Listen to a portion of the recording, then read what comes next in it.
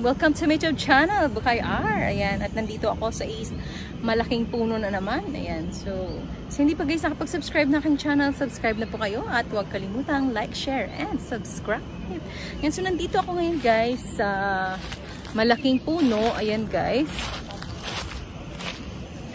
At ah, uh, ito guys, yung puno sa aking likuran. Kita ko sa inyo yung mga dahon. Ayan yung nalalaglag na dahon. At yung mga puti na yan guys is uh, flowers. Of course. So ipakita ko na naman sa inyo ang one of a kind tree dito lamang sa Botanic Gardens, Singapore. So yun ang leaves at I'm here right now stepping on the leaves. diba? Ang cute. Diba narinig nyo guys ang ingay ng dahon. So, ipakita ko sa inyo yung tree, another heritage tree. Kasi nga dito sa Botanic Gardens, Singapore, madami po ditong uh, uh, heritage trees. So, ayan.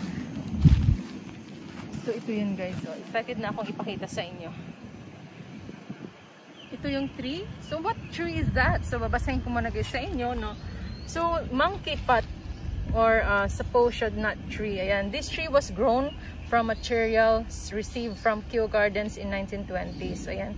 The monkey pot tree gets its name from its unique fruit which looks like a pot with a lid. Monkeys in South America are known to put their hands into the pot to get its rich seeds. Ayan. It is these very seeds that are rich in oils that brought this plant to Singapore as an experiment economic plant. Known in South America as uh, Saucian, nuts. They, they have a thicker but less firm shell than Brazil nuts and a somewhat better flavor.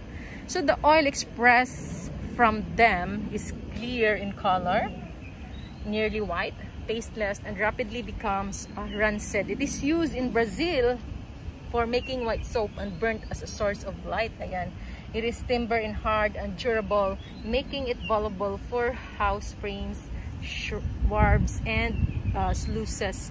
So, ayan guys. So, this is another uh, heritage tree dito sa Botanic Garden. Ito guys. The monkey pot fruit and seeds. Ito yung ano niya uh, guys oh. Yung fruit and seeds niya. So, gusto gusto pala to ng monkeys. Kaya pinangalan siya. It's named like derived from the monkey. Kasi ang hilig-hilig daw. Uh, ano ito ng monggoy. So, yan guys, ang puno. So, tiruin niya guys, 1969. How many years ago na? So, guys, ito yung puno na to. Excited na akong ipakita sa inyo yung monkey pot. So, ito guys yung puno ng monkey pot. Yun. So, ito guys yung ugat niya guys. Tingnan nyo. Hindi ko alam kung nakikita nyo guys, no? So, uh, ipapakita ko sa inyo ang lawak-lapag, ang lapad-lapad na ng ugat niya guys. Ayun yung mga bukol-bukol na yung nakahoy guys. Ugat yan ng monkey pot tree na to. So this is the monkey pot tree guys. Sa dami dito ng puno sa Botanic Gardens. Grabe, sabi ko nga iba kaabutin ako ng isang libro bago ko maipakita sa inyo. And so ito yung monkey pot tree. Tingnan nyo guys, di ba? Ang lago ng dahon na yun. Green na green. Ayan. At uh, sa ilalim nga dito kanina guys, maraming mga ano, monitor lizard. Ayan. At may mga ibon, syempre. Ayan. May mga squirrels. Ayan, maraming squirrels dito guys. At ang laki ng puno na to, di ba? At you can see monkey pot tree. So, ayun guys, ang ganda dito kasi around this monkey pot, eh, talagang pinalibugatan pa nila guys ng mga kahoy. So yan guys, oh, nakikita nyo yan. May mga kapunuan dito. So ayan, this is another uh, one of a kind tree and it's an heritage tree. Kaya pala, ayan, no wonder this is a world, UNESCO World Heritage Site. So guys, sa mga turista dito na pupunta sa Singapore, yan, wag nyong kaligtaan na pumunta dito sa Botanic Garden. Huwag niyong kaligtaan guys na pumunta dito sa Botanic Gardens at uh, marami talaga kayong makikita dito.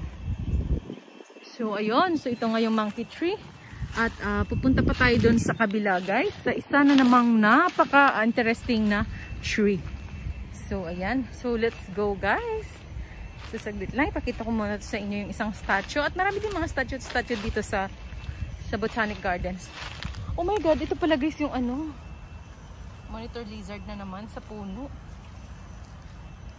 Ayan oh. So, diba? So, this is the mon- Ang dami nga palang monitor lizard guys. Eh, Doon sa malayo, nakikita ko meron pang isa. At yan oh. Wala. Ang dami dito. Ayan guys. So, napakalago ng puno na to. Ayan pala guys, ang bulaklak niya. May bulaklak pala siya. Akala, nakikita ko na yung bulaklak niya. Itong mga puti, mga bulaklak yan guys na nalalaglag sa puno. Kasi yung, ano niya, yung bulaklak niya hindi masyadong nakikita sa gawa ng sa sobrang green ng dahon. Ayan. Wala pa siyang fruits. Ang fruit niya, ma, yun parang ang ganda kanina ng fruit niya. At marami ding mapagagamitan ng siya. So, ayan guys yung monitor lizard sa ilalim ng puno. Ayan, at ito nga yung ano, yung statue dito. Ang cute ng statue dito. So, mostly, ang statue dito is a mother and a daughter. Ayan. So, guys, mamaya talagang napaka-interesting ng ipapakita ko sa inyo. Nakahoy.